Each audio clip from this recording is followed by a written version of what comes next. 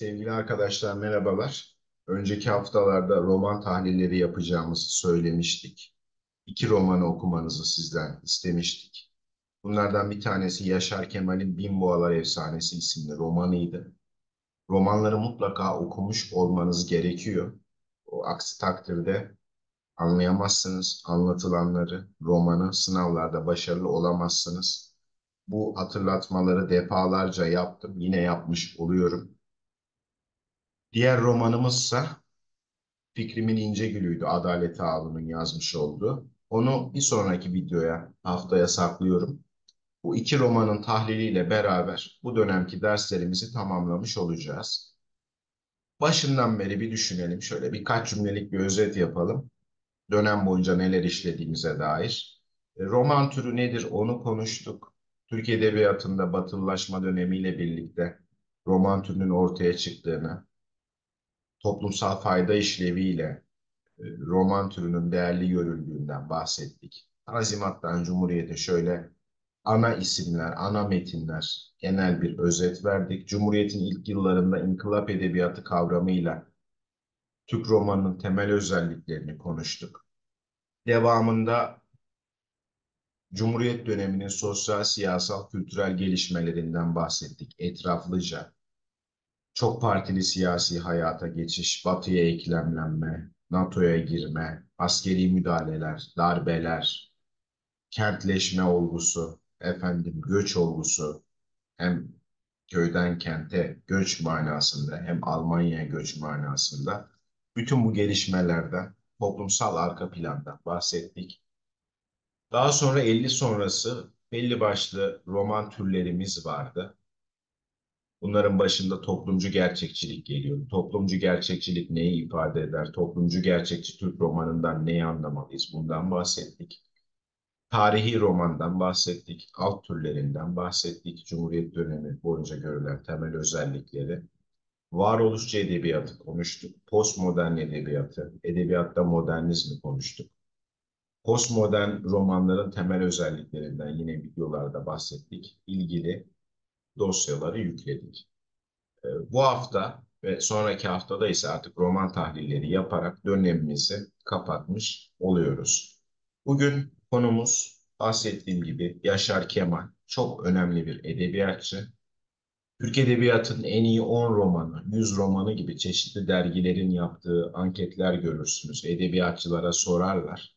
Bu tarz listelerde Türk Edebiyatı'nın en iyi 10 romanı, 100 romanı listelerinde değişmeyen 2-3 isim vardır. Bunlardan biridir Yaşar Kemal. Sıralama değişebilir ama özellikle İnce Mehmet isimli e, romanıyla, roman serisiyle herkesin hemen hemen ilk üçünde yer alacak önemli bir romancıdır. Diğerleri kimlerdir bunların? Tanpınar'ı mutlaka görürsünüz. Oğuz Atay'ı görürsünüz. Bu üçlü arasında ilk 10 roman, 100 roman anketlerinin zirvesi değişir. İnce Mehmet ile onu en fazla biliriz. Biliyorsunuz Nobel Edebiyat Ödülü kazanan e, tek roman yazarımız Orhan Pamuk idi. Nobel'e aday olan isimlerden bir tanesidir Yaşar Kemal. Yurt dışında da çok sayıda dile çevrilmiştir eserleri. Türk Edebiyatı'nı temsil eden önemli bir isimdir. Toplumcu gerçekçi roman anlayışıyla bilinir. Şimdi onun biraz hayatından, eserlerinin temel özelliklerinden bahsedeceğiz. Bir girizgah yapacağız. Devamında Bin Boğalar Efsanesi'nden konuşacağız. Romanın önemini, arka planını anacağız. Yaşar Kemal dediğimiz zaman aklımıza Çukurova geliyor. Çukurova'nın önemli yazarı. Oradaki geleneği, geleneksel yaşamı, halk ağzını, folklorik unsurları bize veren, büyülü gerçekçiliğin Anadolu toprakları Çukurova özelinde değişik bir e, anlatısını bize sunan çok önemli bir isim. Yaşar Kemal bize geleneksel anlatılardan, geleneksel edebiyattan nasıl faydalanılır, nasıl modern bir edebiyat yaratılırın da cevabını veriyor. Neyle veriyor? Çukurova'nın ruhu üzerinden veriyor. Çukurova dedik, kendisi Osmaniye doğumlu, asıl ismi Kemal Sadık Göceli. Üç buçuk yaşında sağ gözünü kaybediyor. Beş yaşında kekeme oluyor. Çukurova'nın bu bozulmamış tabiatı, ortamı içerisinde çocukluğunu geçiriyor. Tabii Çukurova dediğimiz zaman aklımıza gelen gelenekli şairler, edebiyatçılar var. Bunların başında Karacaoğlan geliyor. E, Dadaloğlu geliyor.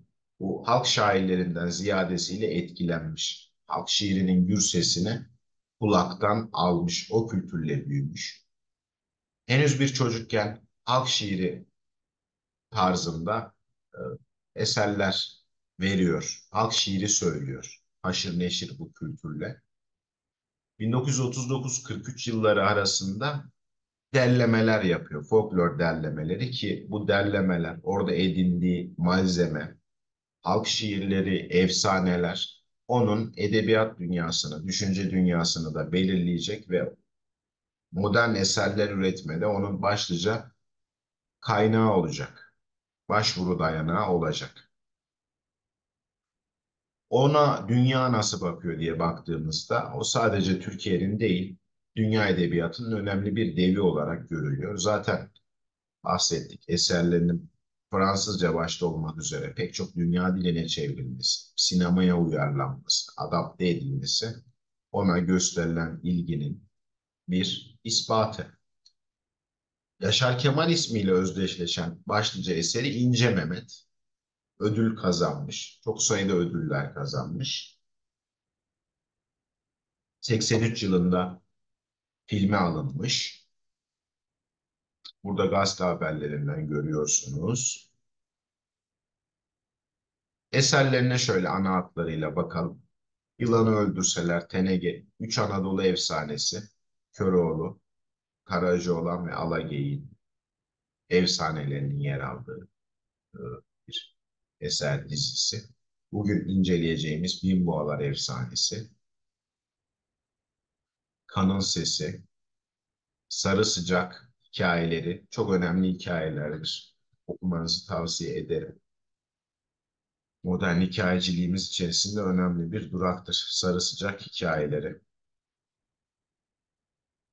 Tabii onun ismiyle özdeşleşen, bilmeniz gereken, nereden başlayalım derseniz İnce Mehmet serisini okuyun. Birden fazla romandan oluşuyor. Bu seri soylu eşkıya kavramı diye bir kavram vardır.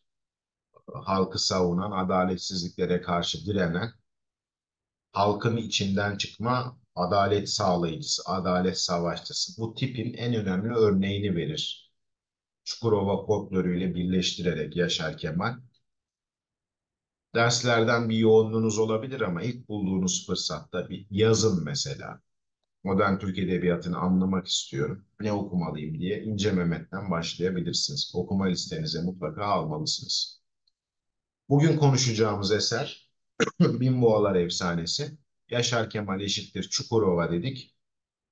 Bir Çukurova hikayesi esasında. Neyi anlatıyor temelinde? Bir Yörük obasının yaşadıklarını, dağılma macerasını anlatıyor. Eser 1971 yılında yayınlandı. 84'te sahneye uyarlandı. Yine 79 yılında Fransa'da yılın en iyi kitabı seçildi. Bu eser bize malzemesini bizatihi Yaşar Kemal'in duyduklarından, yaptığı derlemelerden, yörede anlatılan hikayelerden, efsanelerden alıyor ve tarihi gerçeklerden alıyor. Eserimizin adına bir bakalım. Bin Boğalar Efsanesi nasıl veriliyor romanın içinde de. Bu deli boğa höyü hep mezarlık. Eski, çok eski. Müslüm Koca'dan da yaşlı. Bir de bazı geceler bu höyük var ya, bu höyük ayağa kalkar yürürmüş. Boğalar gibi sabaha kadar böğürerek yürürmüş. Sabaha karşı böğürür yürürmüş tepesi kızınca. Bu höyük bir eski Müslüm Koca yaşında bir boğaymış. Öldürmüşler. İşte köylüler ona kurşun sıkmışlar. O da buraya düşüp kalmış. Buraya yığılmış. İşte o da köylü görünce, kendisini öldürenleri görünce uyanır, böğürerek yürürmüş köylülerin üstüne. Köylüler de kapılarını kapatır, korkularından donlarına. Boğa bizim Çukurova Türkmeninde döl bereketi anlamına gelir. Dünyanın birçok dilinde de böyledir ya. Bir de bizim Toros dağlarının adı Bin Boğa dağlarıdır. Ben bizim Toroslara Toros, Toros denildiğini ilk olarak şehirde duydum. Çukurovalılar ya parça parça ad verirler ya da Bin Boğa dağları derler. Bu tükenen Yörük obası. Koca Osmanlı'yı, Selçuklu'yu daha nice devletleri kurmuşlardı. Kendi deyimlerince Osmanlı'nın babası olurlardı ve dölleri tükeniyordu. Şu yeryüzünün namları, şanları siliniyordu. Yeni başka bir şey oluyorlardı. Tükeniyorlar, yeni, bambaşka, belki daha mutlu, belki daha mutsuz bir dünyaya uyanıyorlardı. En gerçekçi romanımın adı Bimbo efsanesinden başka ne olabilirdi? Oradaki dağların diğer ismi Bimboğalar. Bimboğalar efsanesi de Çukurova'nın Toros Dağları'nın hikayesi. Toros Dağları'nı karşılamak için verilmiş bir isim. Toros Dağları, Bimboğalar eşlemesinden kaynaklı. Bize Çukurova'nın, Çukurova Türkmenlerinin, Yörüklerinin hikayesini anlatacak. Bu nedenle eserine bu ismi vermiş. Şimdi romanın bir özetini verelim. Temel meselelerine değinelim. Romanda bir obamız var. Bunlar Yörükler. Yörükleri biliyorsunuz yerleşik hayata geçmemiş Türklerdir, Türkmenlerdir. Yazları yaylada, kışları kışlakta geçirirler. Bizlerin ataları. Hala bu gelenek bazı yerlerde kısmen devam ediyor. Bu Yörükleri anlatıyor. Yörük Türklerini temelinde anlatıyor. Bu Türkmenlerimiz kışın Çukurova'da, yazın Aladağ'da konaklayarak göçebe bir şekilde yaşıyorlar. Tarihi arka planına yer verelim. 1876'da Türkmenlerle Osmanlı Devleti arasında Çukurova'da büyük bir savaş oluyor. Osmanlı Devleti Türkmenleri yerleştirmek, toprağa çakmak, onları düzenli hayata, yerleşik hayata geçirmek istemekte. Niçin? Yerleşik hayat eşittir. Nüfusun nerede olduğunu bilmeniz, oradaki insanları askere almanız, onlardan vergi almanız. Konar göçer yaşamda vergi gibi bir mesele yok. Devlete karşı sorumluluklar e, yerine getirilmiyor. Kayıt altına alamıyorsunuz, denetim altına alamıyorsunuz. Osmanlı Devleti bu konar göçerleri, yörükleri yerleşik hayata geçirerek istediği zaman ordusunu asker olarak almak istiyor. Askeri ihtiyacını karşılamak istiyor. Bir saniye. Tekrar devam edeceğiz. Osmanlı asker ihtiyacını karşılamak ve vergi almak için Yörüklerimizi, Türkmenlerimizi yerleşik hayata geçirmek derdinde. E peki Yörükler, Türkmenler bunu ister mi? İstemez. Niçin? Bin yıldır alıştığınız bir gelenek var. Özgürsünüz. Kendi yaşayışınızı devam ettiriyorsunuz. Tabiatla iç içesiniz. Efendim yerleşik hayata geçmek bünyesinde çeşitli problemleri barındırır. E ne gibi? E, çiftçilikle uğraşacaksınız. Hiç alışık olmadığınız işler, yeni bir yaşam biçimi. Dolayısıyla alışık olmadıkları bu yeni düzene geçmek istemeyecekler. Atalarından devraldıkları kültürü aynı şekilde devam ettirmek isteyecekler. Yerleşik hayat onlar için olumsuz bir şey. Geleneklerinden sapma, alışkanlıklarından sapma. Bu çatışma nedeniyle yerleşik hayata geçmek istemeyen yörükler, yörükleri yerleşik hayata geçirmek isteyen, zorlayan, baskı yapan Osmanlı Devleti bir çatışmayı beraberinde getirecek. Bu tarihsel bir gerçeklik e, bölgenin geçmişinde çatışma meydana gelecek. Yörükler, Türkmenler buradan mağlubiyetle, yenilgiyle ayrılacaklar.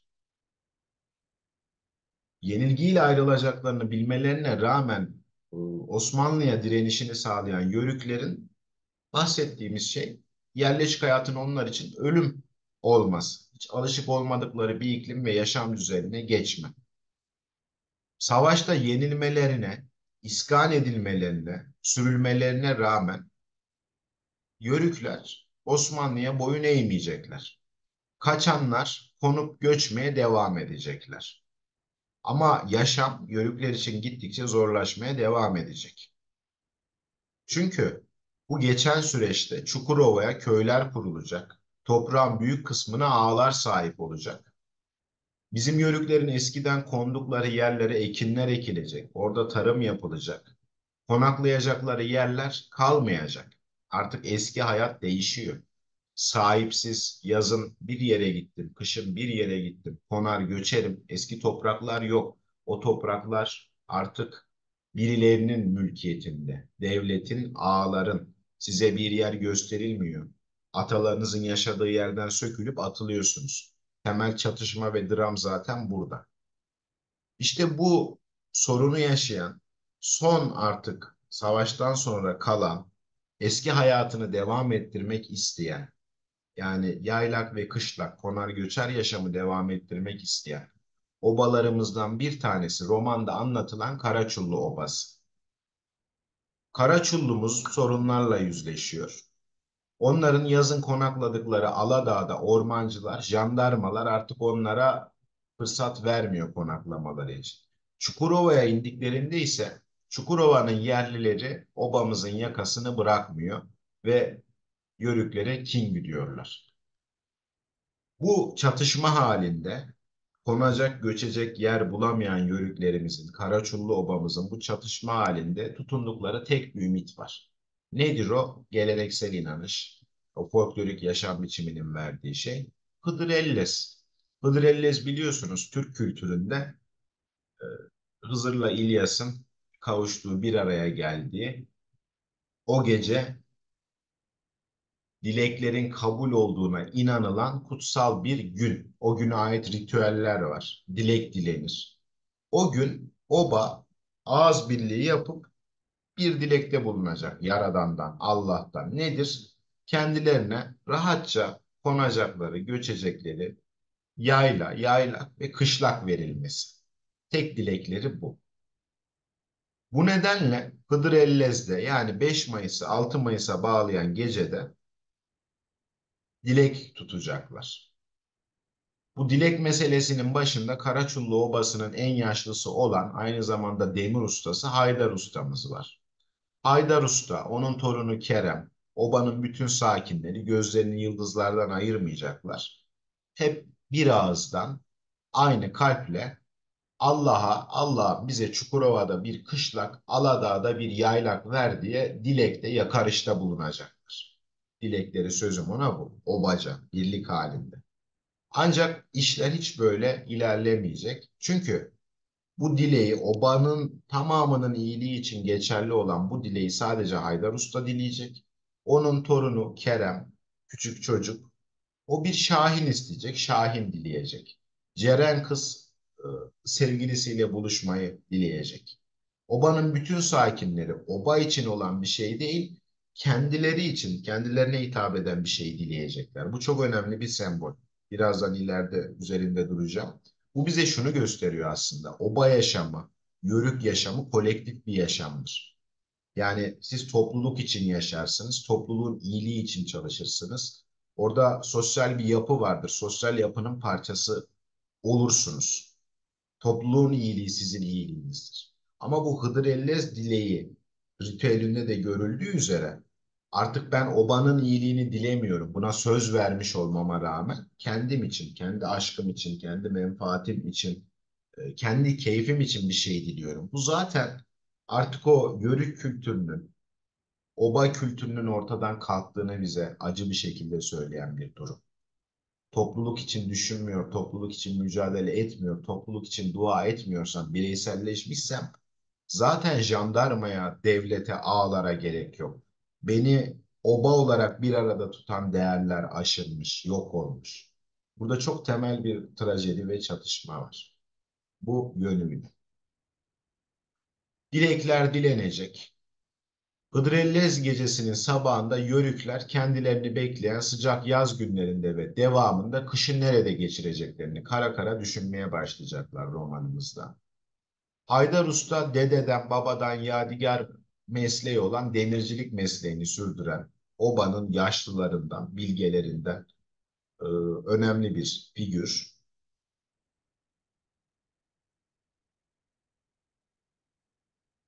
Görselimi şöyle alayım. Önemli bir figür.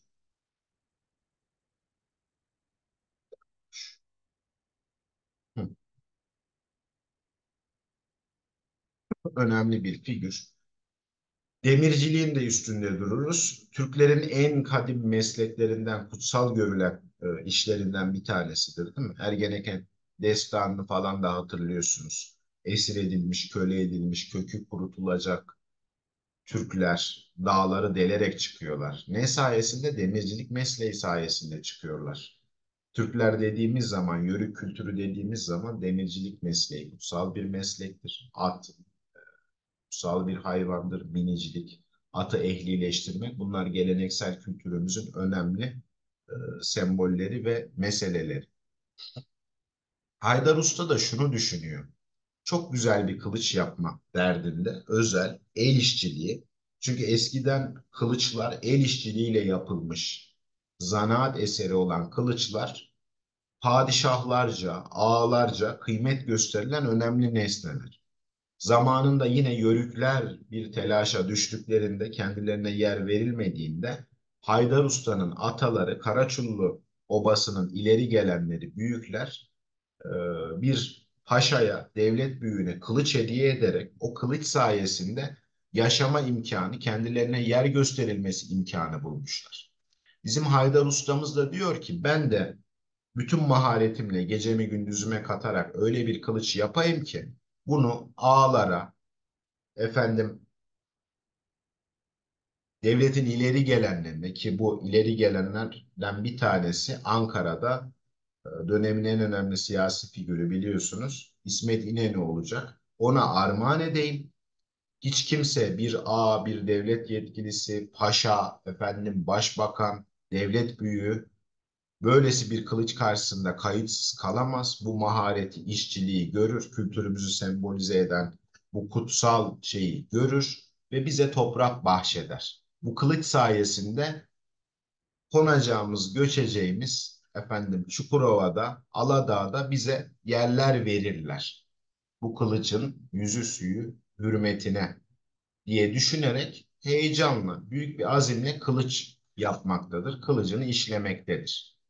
Tabii bu hayali de boşa çıkacak. Bunun üstünde duracağız. Bu karmaşa etrafında jandarmanın, ormancıların sıkıştırdığı, Çukurova'nın yerlilerinin sıkıştırdığı yörükler sürekli bölgede dolaşacaklar. Her yerde zulüm görecekler. Devletten, yerlilerden. Çünkü onların toprakları yok. Bu zulme tabii obanın bütün sakinlerinin kayıtsız kalması mümkün değil. Obabaşı Halil kendilerine yapılan, Karaçullu Obası'na yapılan bu zulümlere kayıtsız kalamayacak. Bir köyü yakıp dağa kaçacak. Düşmanlarına sessiz kalmayıp karşılık vermiş obanın bir sakini.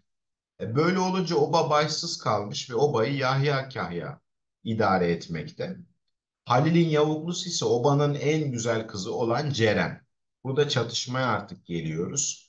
Obada bir aşk hikayemiz var ama kavuşmaları mümkün değil. Niye? İki sebep var. Yersiz, yurtsuzlar.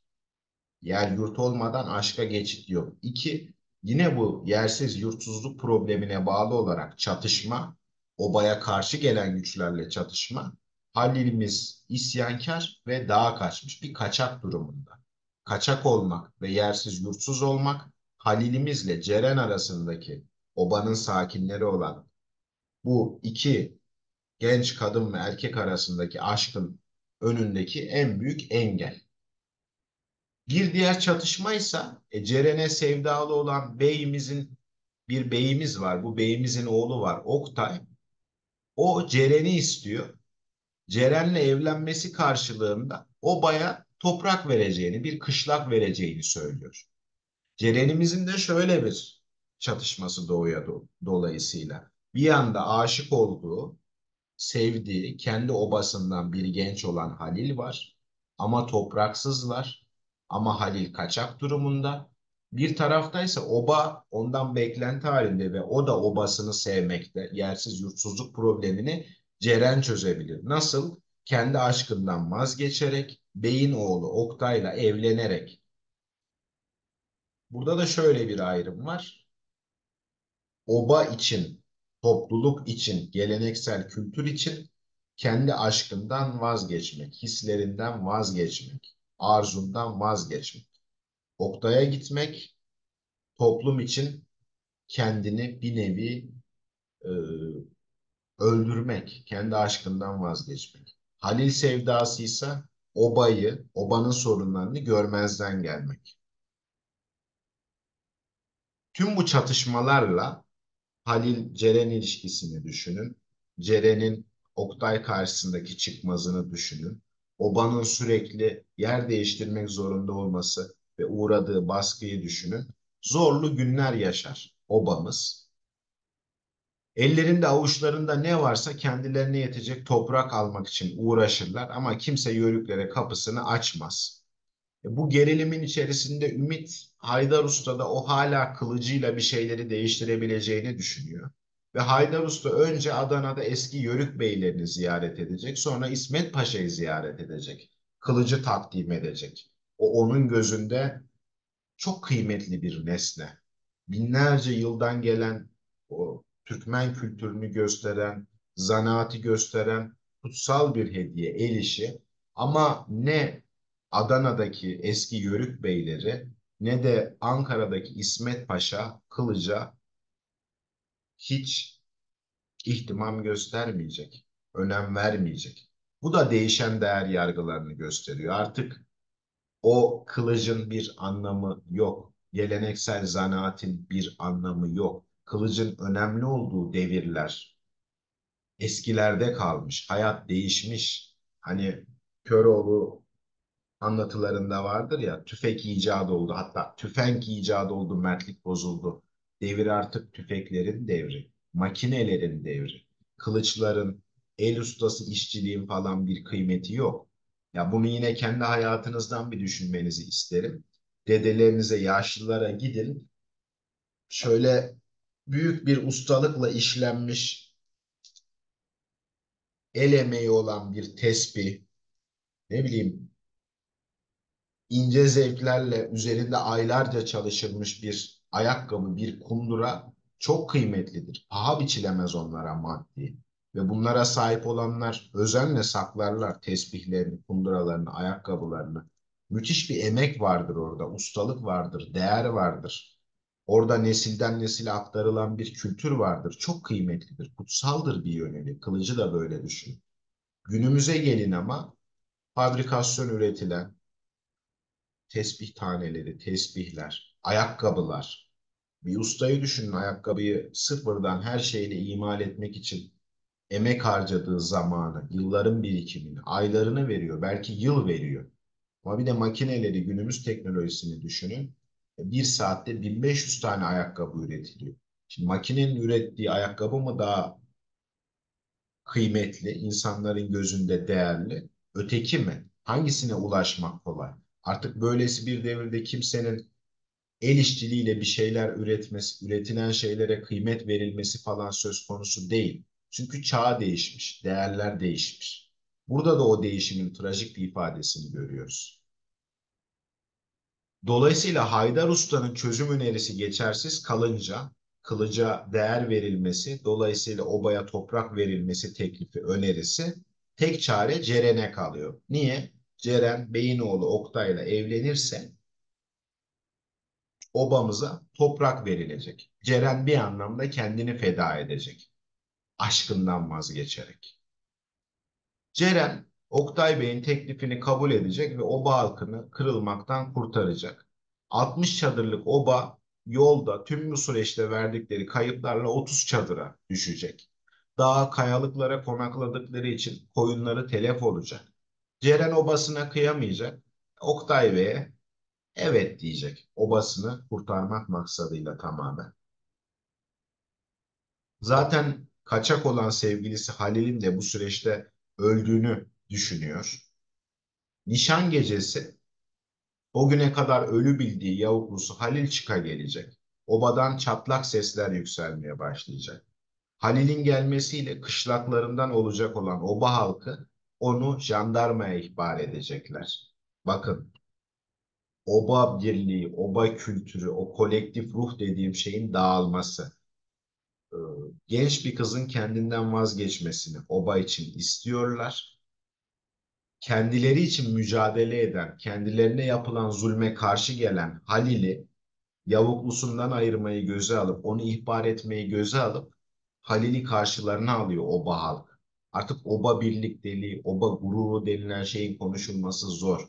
Çünkü bu oba kültürü, e, yörük hayatı tırnak içinde açlıkla, yoklukla, baskıyla terbiye edilmiş.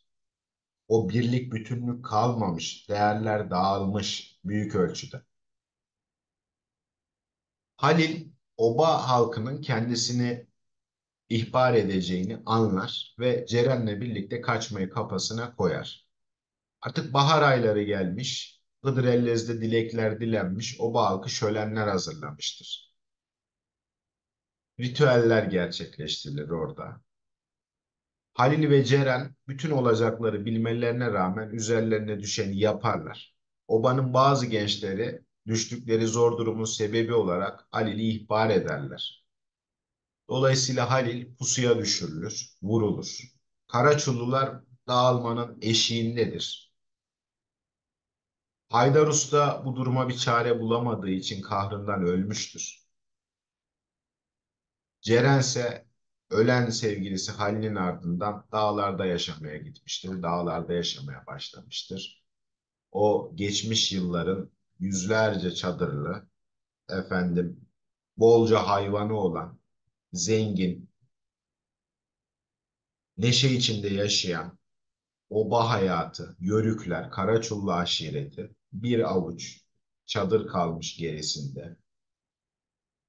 Fertleri arasına nifak girmiş, hayvanları telef olmuş, konaklayacak yer bulamayan, her yerden itilip kakılan e, zavallı bir topluluğa dönüşmüştür ve dağılıp gitmişlerdir. Yörük yaşamının nasıl dağılıp gittiği, sonlandığına dair çok trajik bir hikaye. Zaten romanın başında bir epigraf var. Okuyanlar biliyor. Epigraf herhangi bir eserin başında yer alan başka bir eserden alma e, dizeler, söz, cümleler, eserle ilişki kurulmasına faydası olan, eseri bir yönüyle açıklayan, esere dair ipucu veren alıntılar gibi düşünebiliriz. Bizim bu romanımızın Bin Boğalar Efsanesi'nin başında bir dörtlük var. Melih Cevdet Alda, Anday'dan alınma. Ne diyordu o dörtlükte? Ağlar bu mezarlıkta yörükler her gece. Bıkıp iri yıldızları davar sanmaktan. Düşünür eski günleri iskandan önce, geride kalmanın hüznü yamanmış yaman. Evet romanda da bu hikaye anlatılacak. Yörüklerin mezarlıklarda ağlamaları. Niye? Geçmişi düşünerek ağlamaları. Geçmişin şaşalı günleri, güzel günleri geride kalmış. Geçmişin güzel günleri ne zamanda? İskandan önceydi. Bu yerleşik hayata geçirme, geçirilme baskısının olmadığı zamanlardaydı. Artık taşınamaz bir hüzün ve zorluk yörüklerin önünde. O yaşamı tekrar getirmek mümkün değil. Çünkü bir toprakları yok, değişen hayatı anlayamamışlar. Değişen zamanla birlikte gitip gitmişler. Kültürlerini yitirmişler. Bu epigraf oldukça önemli. Şimdi zamanımıza bakalım. Romana dair temel unsurlardan, karakterlerden ipuçlarıyla e, vurgulanması gereken yerlerin altını çizelim ve hızla ilerleyelim. Zamanımız reel yani gerçek zaman kullanılmış. Roman içerisinde Yörüklerin tarihine uzandığımızdan işte 12. yüzyıldan 19. yüzyıla kadar özellikle Yörük hayatıyla ilgili alıntılara yer veriyoruz. Temel mesele 1876'da başlayan mecburi iskandan sonraki yakın geçmiş. 1876 sonrasında toplam bir yıllık bir zaman diliminde geçiyor olaylarımız. Bir Hıdır Ellez'de başlıyor. Diğer Hıdır Ellez'de iki Hıdır Ellez arası zaten bir yıl biliyorsunuz. 1876'dan hemen sonraki dönemlerde bir yıl içerisinde gerçekleşen bir e, hikayeyi bize anlatıyor. İskanı bize anlatıyor meselemiz. İskan'dan e, Cumhuriyet dönemine kadar da geliyoruz. Neyle geliyoruz Cumhuriyet dönemine? Nasıl anlıyoruz? E, kılıç İsmet Paşa'ya hediye ediliyor. İsmet Paşa'nın Cumhuriyet döneminde idareci olduğunu biliyoruz. Dolayısıyla Osmanlı zamanından Cumhuriyete zamansal sıçramalarla anlatılan bir arka plan var romanımızda. Mekanımız zaten Bimboğalar eşittir Toroslar eşlemesini kurduk. Toros Dağları ve Çukurova özel olarak geçen yerler. Aladağlar, Hemite Dağı çevresi, Deliboğa Höyü, Sarıçam. Bir de İsmet Paşa'ya kılıç hediye etmek için Haydar ustamızın Ankara'ya gidişi vardı. Ankara'da romanda o bağlamda geçiyor. Ağırlıklı olarak Çukurova Toros var ve kısa bir bölüm olarak Ankara'da romanda anılıyor. Ne diyor Yaşar Kemal? Bu Çukurova toprağı benim kendi ülkem olduğu kadar da benim romanlarım için yarattığım bir ülkedir. Romanlarımdaki insanları, otları, böcekleri, çiçekleri, atları, kuşları ne biçim yarattımsa Çukurova'nın dilini yeniden yeniden yoğurarak nasıl bir yazı roman diline çevirmişsem kendi Çukurova'mı da öylesine yarattım. Yeniden yaratarak yüksel bir ülke kurmaya çalıştım. Çukurova Yaşar Kemal'in roman dilini veren, roman tahayyülünü veren ana malzeme. Bunu görüyoruz. Çukurova'yı anlatması bu anlamda anlaşılır. Karakterlerimize kısaca bir göz atalım. Haydar Usta'dan bahsettim. Köyün, obanın yaşlılarından, ileri gelenlerinden, demirci ustası, bilge bir figür, köy ümidini, oba ümidini ona bağlıyor. Yapacağı kılıçla toprak alma meselesine bağlıyor. Merhametli, anlayışlı, düşünceli, yörükleri, topluluğun iyiliğini, baştan sona düşünen yegane insan. Bireysel bir tarafı yok onun. Oba için yaşıyor. Oba için zaten kahrından ölüyor. Diğerlerinin kendi istekleri olacak. Oba kültürünün, oba birlikteliğinin dışına çıkıyor diğerleri. Müslüm Koca obanın yine ileri gelenlerinden. Obanın en yaşlısı 100 yaşında ölüm korkusu var. Saf bir karakter zamanın değiştiğinin farkında değil. Kerem Haydar Usta'nın torunu 12 yaşında. Dedesiyle arası iyi, şahinlere meraklı, akıllı, cesur bir e, çocuk. Suçluluk psikolojisi duyuyor çocuk zihniyle. Çünkü oba yersiz yursuz kalınca Kerem sürekli şunu düşünüyor. Ben Hıdır Ellez günü oba için toprak dileğinde bulunmak yerine kendime şahin diledim. Kendim için bir şey istedim. Yersiz yursuz kalmamız, başımıza gelen bu kötülükler, Halil'in dramı, dedesinin kahrolması hep benim yüzümden oldu. Ben o Hıdır Ellez günü keşke oba için toprak dileseydim, kendimi düşünmeseydim. Kendimi düşündüğüm, kendim için şahin istediğim, bencil davrandığım için oba bu halde diyerek bir suçluluk psikolojisinde Kerem roman boyunca. Süleyman Kahya obanın kahyası. Kibirli biri değil, zorba değil, cesur, anlayışlı, gün görmüş, tecrübeli, aşka da önem veriyor, Ceren'in sevdasına saygı duyuyor, geleneği de önem veriyor, obanın dağılmasını istemiyor ama elinden fazla bir şey gelmeyecek, çaresiz. Çünkü değişen zaman karşısında koşulları görüklerin lehine dönüştürmesi mümkün değil. Ceren kız, Ceren'imiz obanın en güzel kızı ağırbaşlı, Halil'e yanık, Halil'e aşık, yiğit, cesur. Halil, Ceren'in sevdiği adam, Beyoğlu, bir köyü yaktığı için kaçak durumunda. Köyü yakma gerekçesi ise yörüklerin, obanın hakkını savunmak, kendilerine yapılan zulme karşı çıkmak, cesur, gözü pek, yiğit, iyi bir silahşör. Oba halkı ona saygı duyuyor. Mustan Şişman ve uzun bıyıklı Osman Ağa'nın oğlu. O da Fahri'yi öldürdükten sonra dağa kaçmış kaçaklar arasında. Jandarmalardan saklanıyor. Mustan da Ceren'e aşık, merhametli, saf. Ee, Oktay Bey üzerinde durmak lazım. O bir bey oğlu. Bıyıklı, iri, kara gözlü. Ceren'e aşık. Ceren'i elde etmek istiyor. Burada güçlü bir kozu var. O da babasının bey olması. Obaya toprak bağışlama, verme vaadiyle Ceren'e karşı bir güç olarak kullanıyor mülkiyeti. Bu yönüyle önemli. İkinci derecede yine kahramanlarımız var ama bunların çok üzerinde durmak istemiyorum. Romanda yine İsmet Paşa'nın geçtiğini biliyoruz. Dönemin Cumhurbaşkanı. Haydar Usta kendisine o el işlemesi kılıcı takdim ediyor. İsmet Paşa güzelmiş deyip geçiyor. Oysa Haydar Usta'nın beklediği şey İsmet Paşa'nın kılıcı alması, gözlerini büyütmesi, kılıca hayran kalması. Bu nasıl bir ustalıktır? Bu nasıl bir zanaattir? Bu nasıl bir kültürdür? Bu kılıç için, bu kutsal eşya, hatıra için sana, obanıza, yörüklere toprak bahşediyorum demesi idi. İsmet Paşa böyle bir iltifatta bulunmuyor. Çünkü değişen dünyada, modern dünyada kılıcın, zanaatin, yörük değerlerinin, yörük el emeğinin artık eskisi gibi bir değeri yok. Burada da temel ilişkileri görebilmeniz mümkün. Demirci Haydar Usta'nın Kerem'le bağı ne? Torun dede ilişkisi. Kerem, Demirci Haydar Usta'nın torunu. Deli Abdullah yeğeni. Müslüm Koca arkadaşı. Süleyman Kahya Oba'nın beyi. Sarıçam'da bir kavga var. Süleyman Kahya ve Oba halkı sıkıştırılıyor. Kimler tarafından? Komutanlar ve kaymakam tarafından.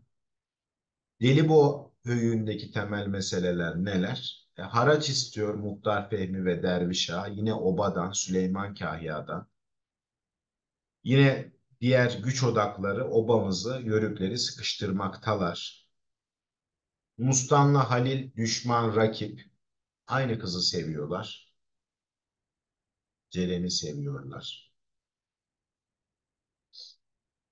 Yine ilişkileri ana bakalım. Oktay Bey Ceren'e aşık.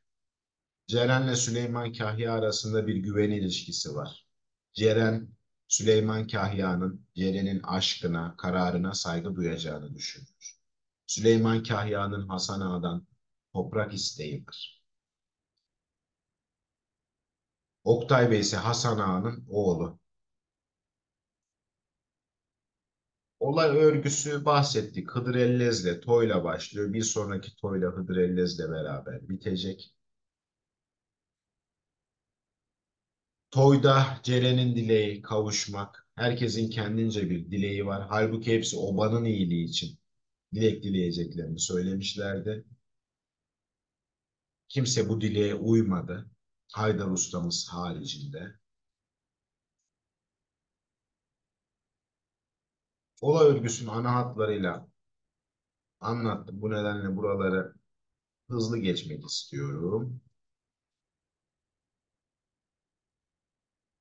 Ankara'da Haydar Usta'nın hayal kırıklığı, Ankara'ya dair izlenimi şehrin kalabalığı,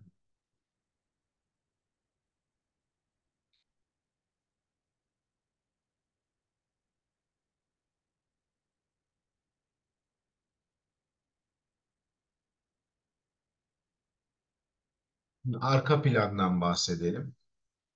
Fırkayı İslahiye ve İskan politikasında. Fırkayı Islahiye 1865-66 yıllarında İbrahim Derviş Paşa ve Ahmet Cevdet Paşa bu meselenin başında iç isyanlar, uzun süren savaşlar vesaire var. Çukurova'da konar göçer, yörükler var. Bunları yerleşik hayata geçirme tabası, çabasıyla kurulan birlikler var. İskan politikasının sonucu. Zorla da olsa yörükleri yerleşik hayata geçirmek istiyorlar. O askeri gücün oluşumun ismi. Karaçullu bu yerleşik hayata geçirilmek istenen yörüklerin, Türkmen aşiretlerinin sonuncusu. Bunlar sürekli jandarmayla çatışma halinde. Jandarma bunları zapt etmek istiyor. E, köylüler de onları sürekli topraklarından sürüyorlar. O topraklara onlar sahip olmuşlar. Dolayısıyla köylüler ve jandarma ile Karaçullu arasında devam ede gelen bir çatışma var. Obayı kurtarma çaresinin neler olduğunu söyledik. Ceren'in Oktay Bey ile evlenmesi. Dolayısıyla Ceren gelinleri oldu. Hasan Ağaların, Oktay Beylerin obaya toprak verilmesi, Hasan Ağa'nın toprak vermesi. Halil'in vurulması, E, bu çarede boşa çıkacak. Ceren kızın Oktay Bey ile evlenmesi hikayesi gerçekleşmeyecek. Haydar Usta da zaten kılıçla istediğini alamayacak. Dolayısıyla oba dağılacak, gelenek yok olacak. Yine arka planda anlatılanlar özellikle hani halk kültürü, folklor diyoruz. Yörük kültürü, Hıdrellez ve yozlaşma. Üç temel başlık.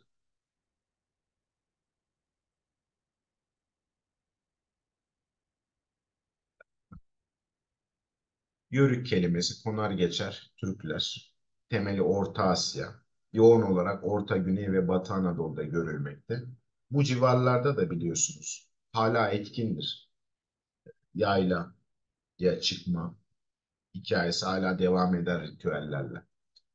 Zorunlu iskan 17. yüzyılın sonunda insanların yerleşik hayata geçilmesinin zorunlu kılınması. Burada iki temel etken olduğunu söyledik. Tekrar hatırlayalım. Bir tanesi insanları askere almak, orduyu güçlendirmek, diğeri vergi almak, vergi toplamak, tarım yapmak, yerleşik hayata geçmek, geçirmek devletin öncelikli prensibi. Konar geçer bir yaşamı istemezsiniz. E, o döneme kadar zorunlu iskana, zorunlu yerleştirmeye kadar yörüklerimiz yazın yaylada, kışın kışlaktalar. Hayvancılık, kilimcilik, demircilik ve el sanatlarıyla uğraşıyorlar. Çadırlarda kalıyorlar. Günümüzde kara tekeliler, bu kültürün birer devamcıları. E, göç unsuru Mayıs ayında gerçekleşiyor deve ve katırlarla. 10-20 gün sürüyor. Bu göç esnasında çeşitli eğlenceler yapılıyor çeşitli ritüeller var. Haydar Usta ile özdeşleşen demircilik mesleği mitolojide önemli. Eski Türklerde, Göktürklerde önemli. Yine Ergenekon destanından biliyorsunuz. Demiri işlemek, savaşçılık e, meziyetinin de aynı zamanda bir göstergesi. Mitolojide de demircilik mesleği kutsal olarak addedilir. Ergenekon destanından e, bahsettim. Oğuz Kağan destanında da görebiliyoruz. Demirciliğe kutsal bir anlam atfedildiğini. Yine at kültürü göçebe yaşamın önemli bir sembolü. Türkler savaşçı bir millet. Atı evcilleştirmemiz ve at üzerindeki hakimiyetimizle bilinen bir milletiz. Yörük yaşamında da atlar oldukça kıymetli.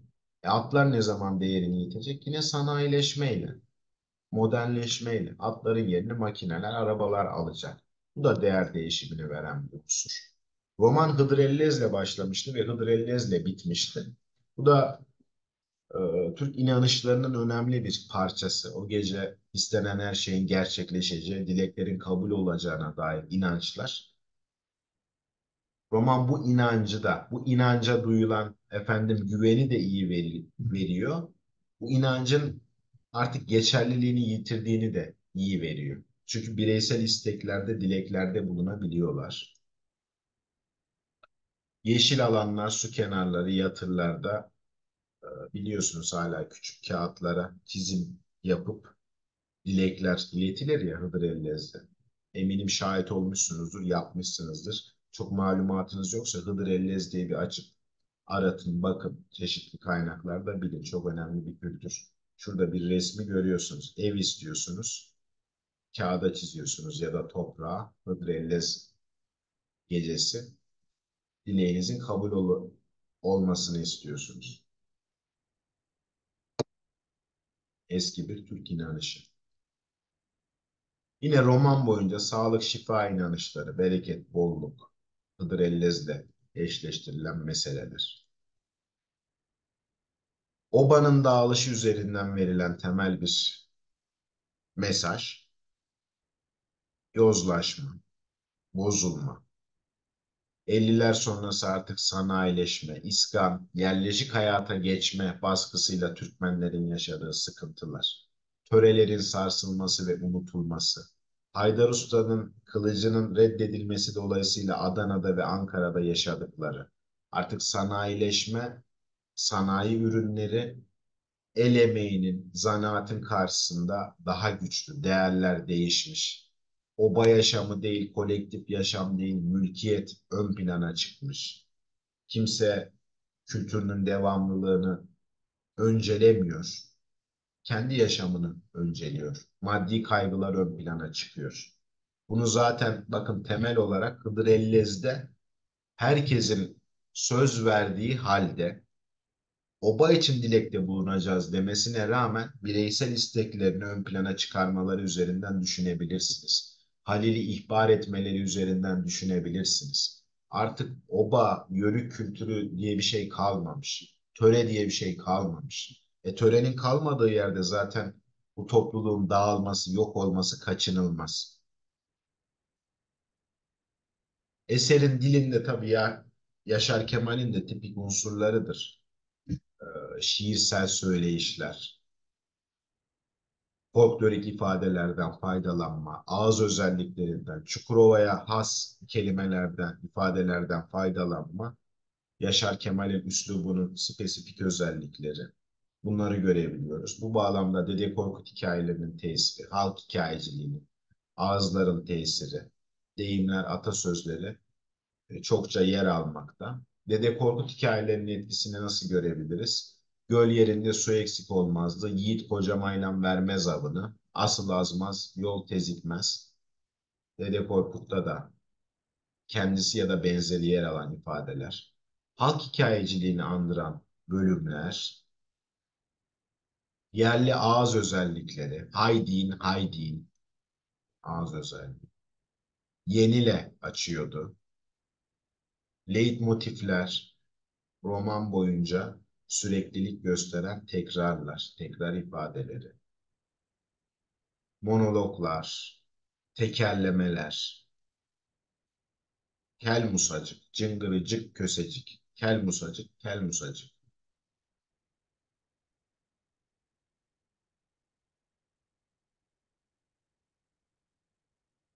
Cin ifrit olmak, can çekişmek, kıv eylemek, kurşun döşemek, zarılık etmek gibi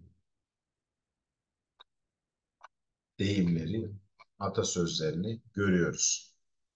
Dil anlatım özellikleriyle.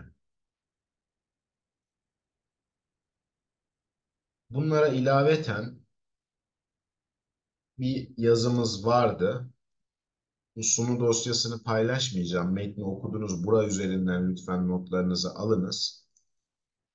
Bizim zamanında kaleme aldığımız bir yazı, makale vardı. İlgili yerlerini okuyarak size de hatırlatayım. Bu dosyayı paylaşacağım. Bunu lütfen okuyun. Romanı nasıl okuyabiliriz, anlayabiliriz diye yazdığımız bir metin vardı. Yaşar Kemal'in Bin Boğalar Efsanesi isimli eseri üzerinde arketipsel bir okuma. Burada kahramanları arketipsel yöntemle çözümleyip hangi kahraman neyi temsil ediyor, neye karşılık geliyor diye yaptığımız bir inceleme vardı.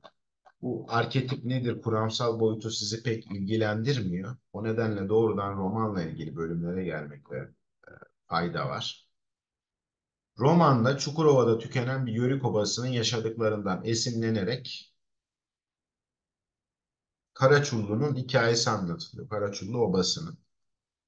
Eserin genel özellikleri, romanda odak nokta göçebelik ve iskan meselesi, yazları yaylaya, binboğalara çıkan aşiret, ormancıların ve jandarmaların baskısı sebebiyle rahatsız. Kışlak olarak kullanılan yerler ise 1876 sonrası iskanı açılmış, halka dağıtılmış, tapulu hale gelmiş. Yani or artık oralar birilerinin, köylülerin malı. Gidip kendi isteğinize göre çadırımı serdim, buraya yerleştim, bir süre burada kalacağım diyemiyorsunuz. Siz geç kalmışsınız. Hani Melih Cevdet Anday'ın epigrafı vardı ya, geride kalmanın hüznü yamanmış yaman diyordu ya, öyle düşünün. O epigraf romanı açıklıyor. Üzerinde ısrarla duruyorum. Başlangıçta verimli kullanılmayan bu topraklar, kışlak olarak kullanılan topraklar artık bir karışı bile ekilebilir hale gelince obaların kışlak olarak kullanılması zorlaşır. Obanın toplu olarak bir yere yerleşebilmesi için paraları yok. Dağılarak toprağa yerleşme ise töre izin vermemekte. Köylüler yörüklere sürekli saldırmakta, onları rahatsız etmekte. Oba, Ceren'i Çukur'dan varlıklı bir ailenin oğluyla evlendirip düştüğü sıkıntıdan kurtulmak peşinde. Ceren ise Halil'in sevdasında bu öneriye sıcak bakmıyor. Obayı bu durumdan kurtarmak isteyen yani toprak sorununu çözmek isteyen Haydar ustamızsa el emeği kılıçla onu hediye ederek kılıca verilecek değer üzerinden kendilerine bir toprak tahsis edileceğini düşünüyor. Hepsi bu niyetlerle Hıdır Ellez'de Allah'ım obamıza bir yaylak bir kışlak diye dua edecekler. Fakat etmiyorlar. Bencil davranıyorlar. Haydar ustamız romanda yaşlı bilgi adam olarak düşünülebilir. O tam bir kılavuz.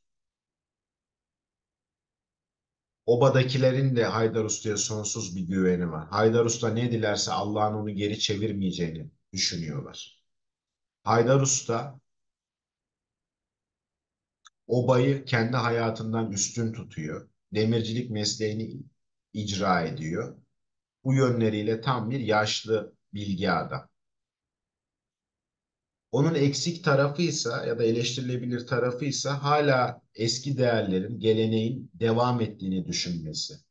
Kılıca değer verileceğini düşünmesi. Değişen dünyanın farkında değil, değişimin farkında değil. Yeni hayata ayak uyduramamış, içselleştirememiş, benimseyememiş. Bu makaleye de bir göz atmanızı öneririm. Şöyle bir toparlarsak, romanda altını çiziyorum. İskan meselesi, yani yerleşik hayata geçme geçirme meselesi. Değişen hayat koşulları karşısında yörük hayatının son buluşu.